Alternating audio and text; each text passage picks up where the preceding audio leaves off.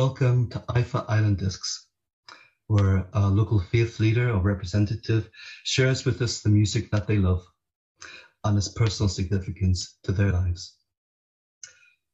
Four tracks are chosen and a wild card, an extra choice afforded to our guest to provide just a little more scope. In the style of the famous radio program, I'll unveil each piece of music in turn, and our guests will share little about their selection. Perhaps we'll discover some new music together, and undoubtedly we'll get to know each other just a little bit more. As you can see on screen, my guest today is Jean Fowler.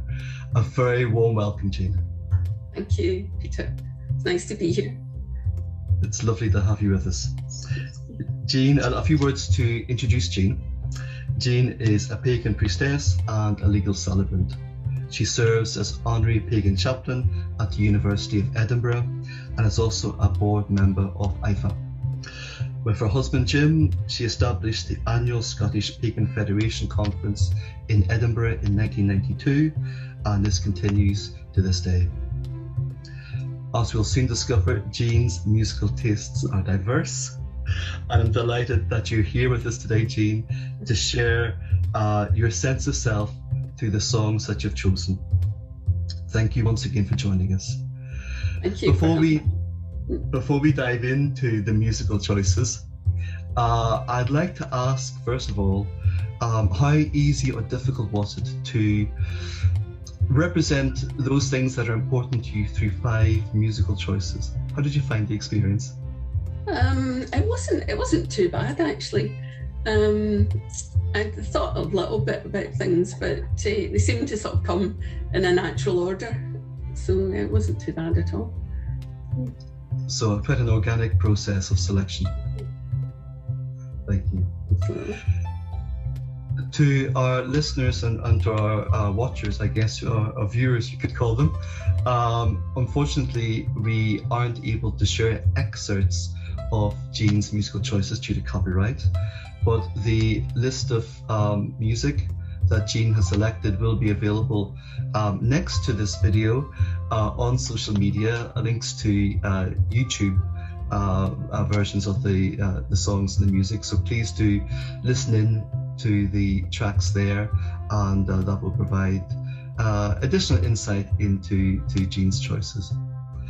So without further ado, we will dive into your playlist for life, Jean. Yeah and I'll bring up uh, our visual cue for your first track. And your first track is Catch a Falling Star by Perry Como. Um, I suppose this was probably one of the first musical things I was aware of. My mother was an avid radio listener um, when I was small, and she would also sing along to the music, which encouraged me in turn to sing along to the music. So I kind of found this one, um, it kind of it took me through my very first baby steps, as it were, at school. I remember even singing this in the school playground, my other classmates must have been terrified or amazed. um, I, I, felt I was alone, but um, the fact of uh, Catch a Falling Star that supported me in lots of ways. Um, it's like just in case you find yourself all alone, you've got a pocket full of stardust. So that I suppose um, seemed to mean quite a lot to me. My dad was quite influential in things too. He also liked to sing. Um, I think he thought he was a sort of Perry Como, Frank Sinatra, or one of these people. Um, so I, in a way, I was taking a bit of my mum and a bit of my dad in this pocket full of stardust to school to kind of give me confidence and, and help me um, in my first days at school. Um, I think it, it, carried on a little because you find that things come up in the radio every now and again. So every time it would come up, I would think, well, oh yes, I remember that, and all the feelings would come back, which was lovely. And and actually, after you asked me to look out a playlist, I thought I don't have this number in the house and I was dusting somewhere and this cassette tape fell down and it actually was Perry Como and it actually has Catch a Falling Star on it. So, so I, it was a bit of synchronicity. in a way. Yeah. It's really amazing to hear you uh, talk about that. We describe it often as a flashback feeling when we listen to a piece of music that has a personal significance to us and uh, it brings us back to the time and place where we first heard that piece of music and all the memories uh, and associations that we have have with the, the, the track. But you touched upon your childhood, uh, Jean, and uh, how important this song was, particularly at that point. Um, can you tell us a wee bit about your childhood? What was it like? Um, well, I was an only child. Um, I was brought up in the, the Church of Scotland, so my kind of first spiritual awakenings, I suppose, were due to the Church of Scotland. Uh, my dad eventually became an elder in the church, um, so I went along to Sunday schools and, and things there. Um, um, yeah, and sort of, I, I, think eventually became a Sunday school teacher. Um, trying to think around about 16, I started to think, well, I'm not quite, you know, I'm not quite sure that, because I always sort of felt that if I wanted to talk to Jesus, I would just talk to him. Um, this idea of going through a minister and the sort of male, the maleness of it, I suppose, at that time made me feel a wee bit uncomfortable. So I sort of searched about and read a lot of books. Um, and eventually I sort of started to realize, you know, there's a lot, many more religions out there and many more beliefs. Um, but it wasn't until I kind of read some books about paganism that I started to think, well, that's closer because it's got nature in it, it's got a, a, a duality of uh, Godhead. So that was when I kind of took my steps into into paganism. Really, um, my dad had always taken me outdoors quite a lot, so he would go fishing and I would go with him. But instead of fishing, I was picking wildflowers or playing with lambs in the field or doing something else, um, involving myself in nature when I could. Yeah. It's lovely to hear your, your your spiritual evolution from the religion you grew up with to how you uh, connected with and have grown um, grown with paganism, and that's really lovely to, to learn about. Jean, thank you for sharing. And, and for sharing Catch a Falling Star, and we move from star to moon with your second choice. and that is by the light of a magical moon by T Rex. Yeah, um, I think in searching, I found that certain music touched me, and at that time it was Tyrannosaurus Rex, and it was quite acoustic music. They later went into more electronic, um, although I think Magical Moon is a crossover. It does have it does have electronic music in it. Um, again, it's kind of cosmic, I suppose. And once more, I suppose my dad features a wee bit in that um, because it, we were out one day, I think we were out at a fairground or something, coming back and it was dark. And I was just a small toddler in arms and uh, looking up at the moon and saying, Oh, daddy, can I have that nice balloon up there? And he said, I'd get that for you if I could, you know and so so once again moon moon features i suppose um, in my, my life quite quite a lot. Um, within paganism the moon the moon goddess features quite a lot too. So i suppose dancing by the light of the magical moon it just came naturally. Um, yeah, T-Rex were one of the, the influential things in my sort of middle years, I suppose. not not but uh, yeah, late teenage, early 20s. Yeah. One of the lovely things about uh, listening, and of course, I had the privilege to listen in advance to your playlist before we uh, come together to talk about it, is not only the diversity of tracks that you've chosen, but also the diversity of music by the artists that you've selected. And um, my knowing of T Rex is. Um, uh, music which is slightly different to the track that you've chosen. So it's lovely to learn at the artist's range of music and also yeah. your connection to, to their music and yeah, again, to your family. Yeah, again, um, I got I my husband bought me some T Rex. So it's, again, it's synchronicity. Um, a lovely picture disc of Metal Guru. so it's an EP, Metal Guru. I got that for Christmas, so that was nice. It always surprises me just the number of synchronicities when we um, when we search out those things that are important to us. It's really lovely to hear, and it was really lovely earlier to hear by the light of a magical moon, uh, which I listened to on YouTube, and our, our, viewers will have the chance as well to connect with it um, over and above or around our discussion today. Thank you. Our third choice um, really raised an eyebrow for me. um, not only in terms of the artist, but also the, the gentleness of this piece. Nothing else matters. Why did you choose uh, this as your third choice, Jean? I think it's. It, I find it quite. I found it quite an inspirational um, piece again. It seemed to come at a time when there was a wee bit of, you know, being a pagan wasn't easy, wasn't an easy road. Um, and sometimes you'd come against um, prejudices and and so on, like maybe in the media and, and things things that weren't always pleasant. Um, and the portrayal of paganism wasn't always as it is now. Um, so that supported me. It, it, there's words in it. Um, never careful what they what they say. So it's like don't you know stick true to to your your own beliefs and your own self identity, I suppose.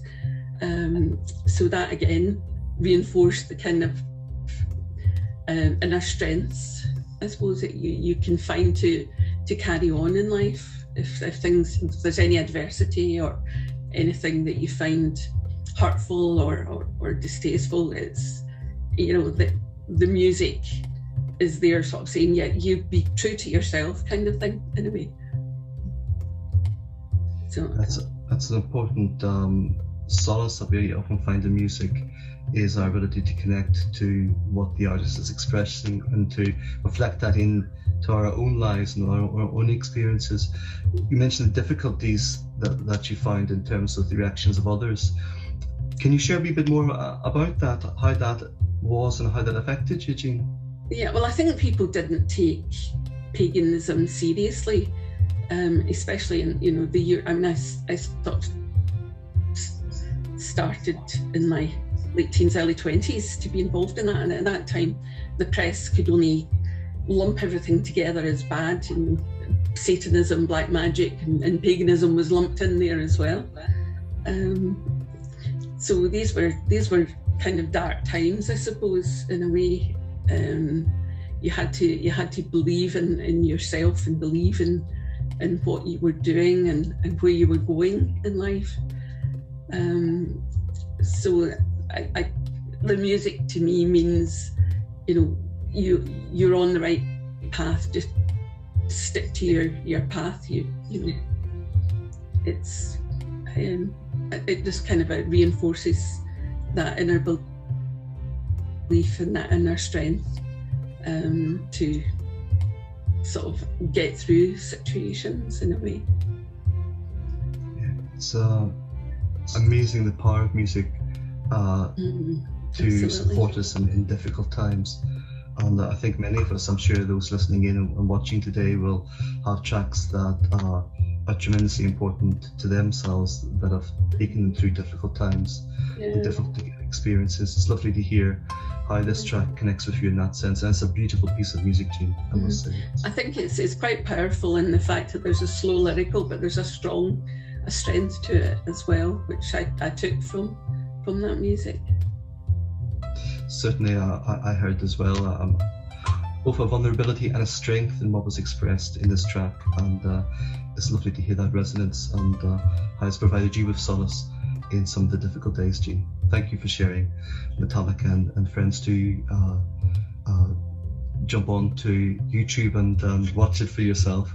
There are many lovely performances there our fourth track is a vision, a vision shared by two people uh, who've, who've collaborated in a very in a very unique way to provide this piece. Would you like to introduce it, Jean? Yes, um, I think this was a, pagan friend introduced me to this music. Um, I went to visit her, and her husband, or my husband and I went to visit them, and this music hit us as we opened the front door, and we said, "Oh, this is this is amazing music." And she said, "Oh yes, it's, it's Hildegard von Bingen," and uh, being a fellow pagan, you, you think, well, yeah, this is beautiful music. And and when she explained the the life of Hildegard von Bingen, and she too fought against, I think, adversity, being a woman and leading a a group of nuns. Um, but they used to dance and they used to enjoy their music. And it, it seemed in a very pagan way, in a very open and expressive way, that they, they would do so. Um, my friend even described the, the fact that they would wear little flowery crowns, which often pagans wear at, at festivals and, and gatherings. Um, and so it, it, seemed, gosh, you know, it's a, a, kindred spirit in a way, although of many centuries ago, and um, a different a different belief to what I now I then held. Um, but also Richard Souther's music had such a, a powerful way of bringing the past into the present um, and such a powerful spiritual impact I think I felt um, when I first heard it and even today when I still I still listen to it um, so I, I, think Vision had a kind of um, I don't know very um, moving very powerful effect on me um, at that time. This friend also um, has a, a, place in Brittany where we would visit, and uh, we would often go to a little convent near there for the Sunday Mass and listen to the nuns singing was also, you know, it's it seems strange for a pagan, but you know, it's it, it kind of a, just expresses and pulls everything together in a way that you know we we we may believe separate things, but music touches us all, um, and even the magic of the mass done in Latin in this little convent, the tinging of the bells and, and things like that was quite quite amazing. It is amazing how music can reach us in so many different ways and touch us in uh, equal equally diverse. Um, range of, uh, of expressions as well.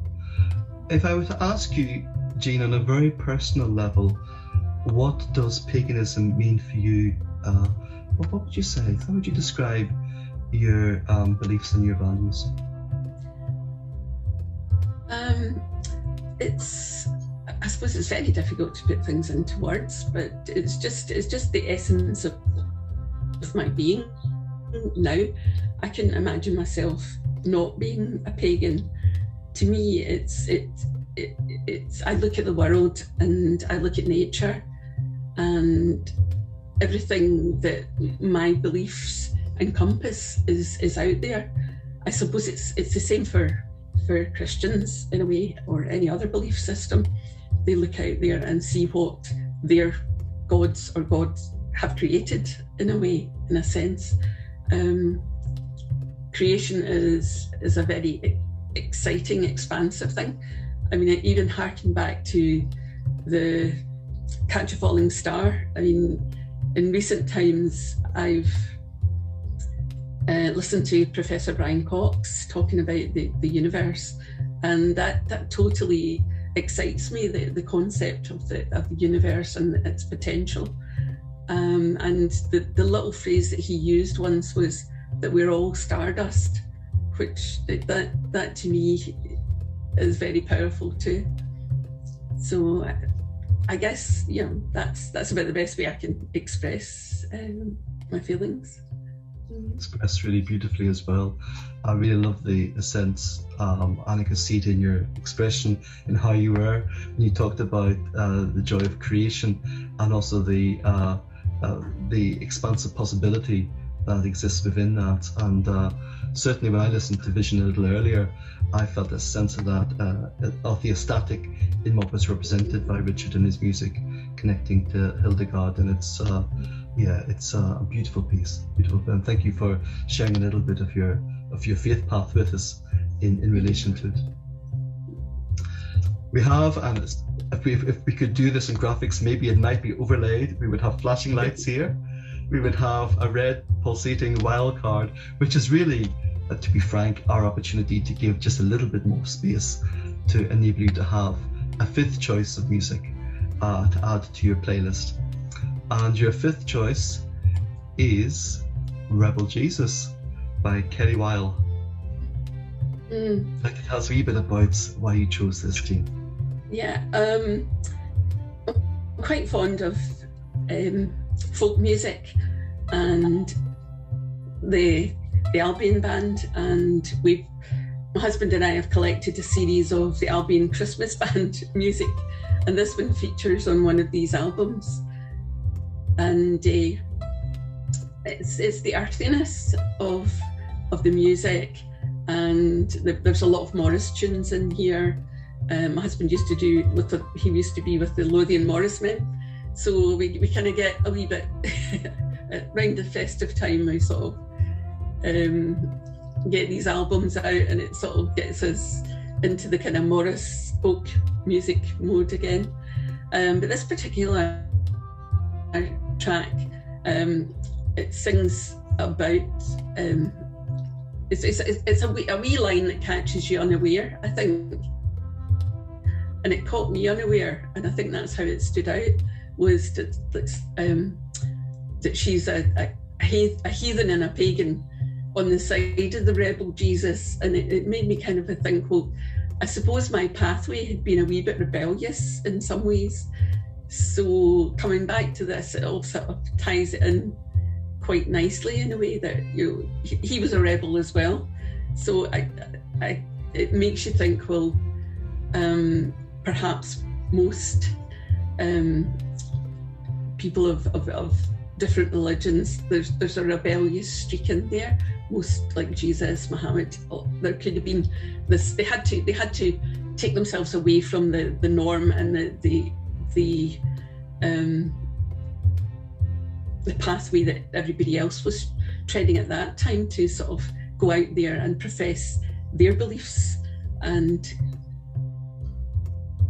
that's how I suppose people began to follow a different pathway. So it, it seemed that it was not too dissimilar from my own my own way of sort of in a way rejecting Christianity, but then finally sort of finding that you know there are there are so many similarities in so many in so many faiths and beliefs that uh, it's we, we're, we're we're all one in a way, but we just don't realise it. Certainly more part of the rebel heart, Jean. Yeah, yeah, a wee bit of a rebel. I, I think uh, I think it's good to be a wee bit of a rebel, personally. Mm-hmm. You've taken us through a selection of music representing um, your connection with family, your sense of solace that you've acquired from music at times of difficulty, and also music that connects to your faith path, to your values, and to what you believe in. And it's a lovely, diverse uh, mix that takes us back to the concept of um, diversity, of pluralism, and to coexistence, particularly in your last track. Jean Fowler, I'd like to thank you for sharing with us today your playlist for life and for revealing a little of your memories and the music that has walked with you during uh, uh, during your life so far. Thank you, Jean. Thank you. It's been my pleasure. Thank you. Thank you.